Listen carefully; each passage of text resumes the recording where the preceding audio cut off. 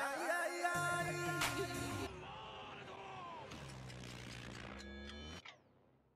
Please leave a like and subscribe for more content.